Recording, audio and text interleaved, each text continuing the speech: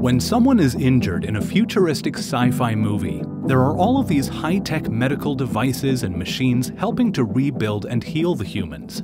Whether it's a machine that hovers over them like a scanner, or a robotic arm that's going over a wound and printing new parts. But all of this sci-fi-like tech is being developed today. And this video looks at all of the ways 3D printers are making it happen. There are already 3D bioprinters that use bioinks made from human cells, which means that something biological, such as bones or cartilage, can be printed now. 3D printed titanium is already being used to replace human parts. And next-gen prosthetics can also be hooked up to the internet. What if a prosthetic arm could download a program to play a song on the piano, allowing humans to download new skills? And could we soon be seeing prosthetics that will give humans super strength and speed? As 3D printed parts and robotic prosthetics become more human, and humans become more artificial, will we have to change the definition of what it is to be human?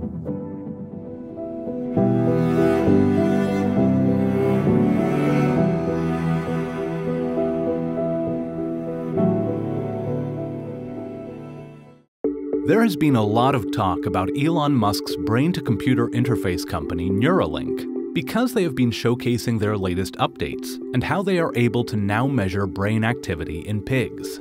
Elon Musk's goal is to solve brain and spinal problems using this brain-to-computer device. Though it seems in the realm of science fiction, this is something that can be done on a DIY and basic level today with the help of a 3D printer.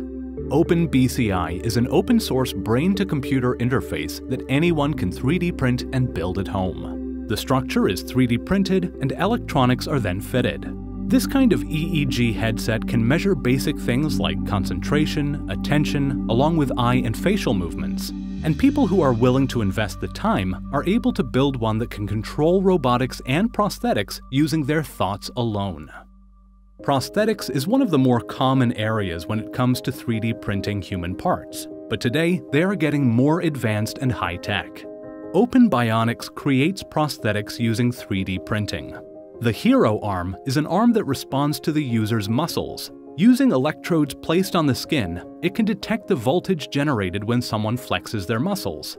This allows somebody to control the movements of their robotic arm. And since it is 3D printed, it makes it simpler to create different designs, and children can get new arms printed as they grow.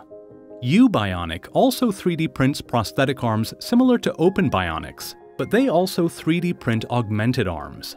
The company sells the materials and instructions for a user to 3D print and build their own robotic limbs and human extensions, adding to the ways humans can control robots. The company is developing more advanced ways of controlling the devices, such as using the electrical activities from the brain. There are 3D printed arms that are open source and made available by eNables. This means that anyone across the world is able to take the measurements of a child's arm, plug the measurements into a computer, and it will adjust the size of the 3D model, making it ready to print. Volunteers are based in over 100 countries, ready to work on 3D printing and assembling the 3D printed arms. The eNables arms are designed for people who have a working elbow or wrist. This allows them to control the arm by bending their elbow or wrist, making the 3D printed hand open and close. Hands are a main focus within prosthetic development because a working hand allows people to do essential tasks. A child that is missing both hands is unable to feed themselves, but by having a 3D printed hand that they can open and close by bending their elbow lets them use a spoon to feed themselves for the first time. Naked Prosthetics has created finger prosthetics called the MCP Driver that are made of 3D printed stainless steel and a nylon polymer. The prosthetics can be customized, such as adjusting the number of fingers that need to be added. What about connecting 3D printed human parts to the internet to make them smarter? An Italian startup called Rejoint is building 3D printed cobalt and chrome knee replacements. Sensor-equipped headbands and socks measure how the user is loading and bending their knees. The data is sent to their surgeon who can help improve the performance of the 3D printed knee replacement. Could we soon see prosthetics that allow humans to upgrade themselves to be better than before? We have already seen that with 3D printing and advanced materials, 3D printed parts for humans are starting to reach natural levels of performance. Soon, these printed parts will exceed the capabilities of natural ones, and next-gen prosthetics will give humans increased strength and speed, all without the risks that come with natural parts, risks such as cancers or injuries. What about adding other sensors to the prosthetics that can communicate with the internet? Could prosthetics download new music to play on the piano, or be programmed to build things, allowing humans to download new skills? In the not too distant future, we may see people volunteering to have their limbs amputated or organs replaced with longer lasting, more advanced versions, letting humans upgrade themselves with different parts. Titanium alloys are being used when it comes to replacing or fixing human parts because they have a porous, bone like structure. This leads to the artificial titanium bone acting much more like a natural bone, which may never need replacing. There are already 3D printed titanium implants for spinal conditions, helping prevent paralysis. This can be seen from a company named Emerging Implant Technologies. Another way titanium is being used is in bone implants. Traditional bone implants, including knee and hip replacements, last for about 15 years before requiring a replacement. This is because of the screws and adhesives, along with the unnatural materials that are being used. Patients around the world are just starting to get access to titanium 3D printed rib cages. If a patient has a tumor in the chest wall, it could be required that the chest wall and or ribs be removed, leaving the vital organs unprotected. The 3D printed titanium sternum and rib implants then protect the vital organs again. The replacements are made up of a mixture of titanium and a polymer, Polymer materials are commonly in the form of plastics, and in this case, the polymer part of the implant provides flexibility while the titanium gives the strength. 3D printed titanium is also being used to heal humans through the use of a titanium cage. In the UK, patients now have access to a 3D printed titanium cage for severe shin fractures. Previously, severe shin fractures required amputation, but now, a custom-made 3D printed titanium cage is implanted to squeeze all of the bone fragments back together inside of the leg. This encourages the bone to fuse together and avoids the need for amputation. The titanium cage is then kept in the body for added support.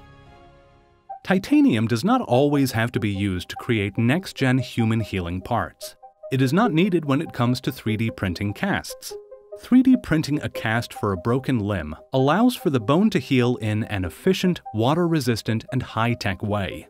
These casts can be built with a rehabilitation module that stimulates the muscles with electrical signals. This way the muscles don't get weak while the bone is healing in the cast. The cast can be controlled with an app and also allows doctors to monitor the progress and manage the treatment. Exovite has advertised that rehabilitation time for an injury similar to a broken arm, hand, or foot could be cut to 7 weeks down from the 10 weeks it takes with a traditional cast.